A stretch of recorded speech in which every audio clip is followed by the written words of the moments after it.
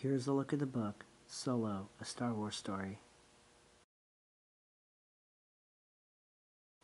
This adaptation expands on the film, with more info on Han's time in the Imperial Navy and on Qi'ra's background story, and it's about Han's earlier years where he met Chewbacca and Lando and gets to see the Millennium Falcon for the first time.